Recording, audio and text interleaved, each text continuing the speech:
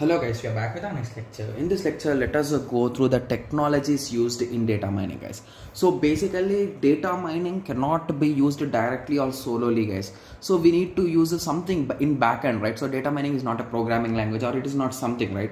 You need to use some kind of programming language or something to do right. Yes. So data mining. Okay. So in data mining, we will be using the concepts of machine learning, pattern recognition, statistics, some kind of applications, some kind of algorithms, database technologies, high speed computing, visualization. So these are all the things which you can use in data mining guys. Okay. So the first we'll be discussing about statistics guys. Okay. So I hope everyone knows the use of statistics, right? So to calculate something like mean, mo- mode, mode, median, like that, those kind of things, like any kind of things it, it might be. I'm saying in terms of basics, right? Yes. So it is used in mathematical analysis to ex- express representation mode and summarize the empirical data or real world observation. So basically real world observations you can do some statistical analysis to get the results right? Yes. So statistical analysis involve the collection of data methods applicable to large amount of data to conclude and report the trends. Okay. So to do some things with data we will be using these things guys.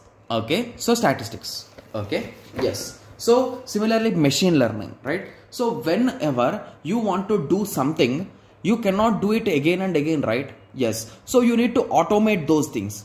Right? Yes. So can computer do everything on its own? No. You should train it right? So you should train it in a proper way so that it can act as your requirement.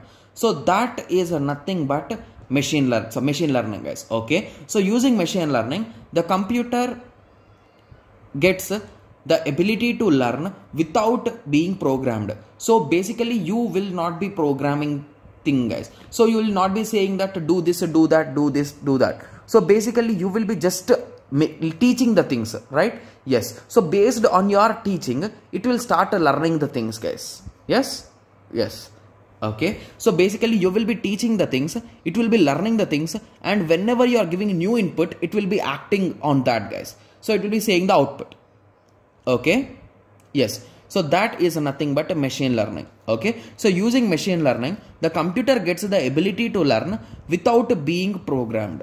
So using this an algorithm can be constructed. Those are nothing but the predictors guys okay? Yes. So now let us go through the supervised learning okay? So in supervised learning so first i'll be explaining you guys then we will be going to the theoretical part okay? So in supervised learning okay? So in a supervised learning we will be having the input data right? So basically here i told you that te- teaching will be there right? Yes. So that teaching will be given here guys. So basically you will be saying for it initially you will be saying this is a square.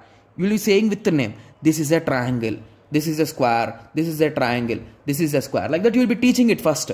So after that you will be giving the square and you will be asking so what is this image? It will be saying square. Like a small baby you will be teaching everything to it and then you will be start asking testing and then you will be deploying it. Once everything is working perfectly right? So that concept is nothing but the supervised learning guys. So remember supervised. So basically there is someone supervising it. The teacher is uh, observing right? Yes. So that is nothing but supervised learning. As the name indicates presence of supervisor as a teacher okay? So basically here we teach train the machine using data which is well labeled that means some data is already tagged with the correct answers. So basically in machine learning if you ask me so basically with the file names only we will be indicating the names guys. So if the image is a car in image image processing i'm saying. So if the image is car you will be giving the name as a car.jpg in that way.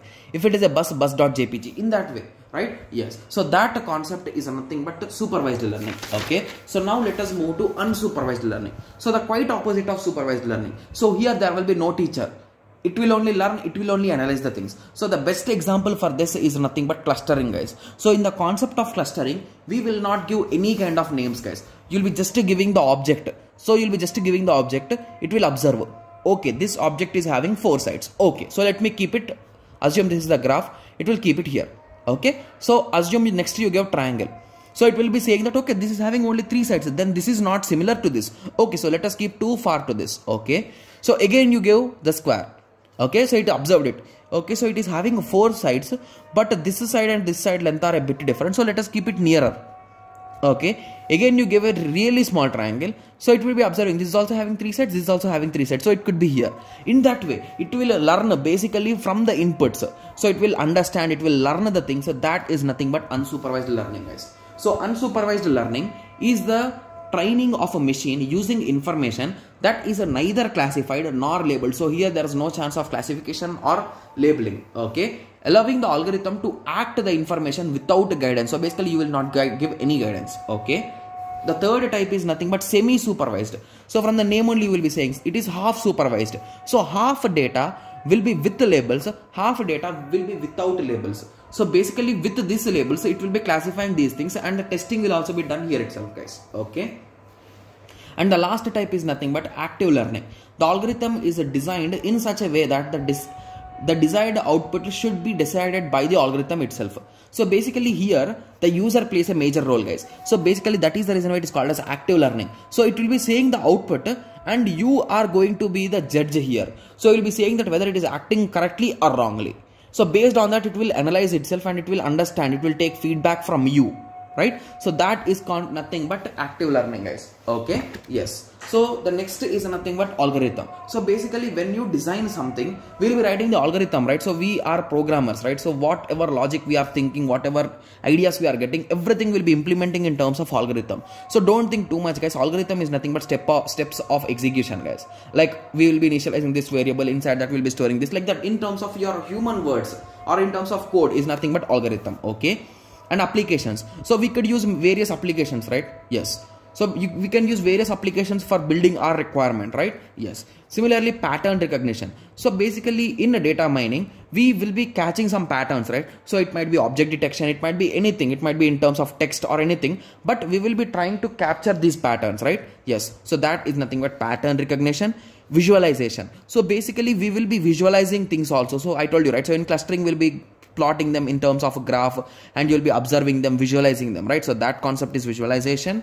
Database technology. So in databases we'll be using one of the most popular language that is nothing but structured query language sql to extract data from the databases. So that is nothing but database technologies. Okay? Yes. So these are all the technologies or applications which we will be using guys okay so i hope everyone got some basic idea. So in the next lecture we will be discussing about what kind of applications are our targets.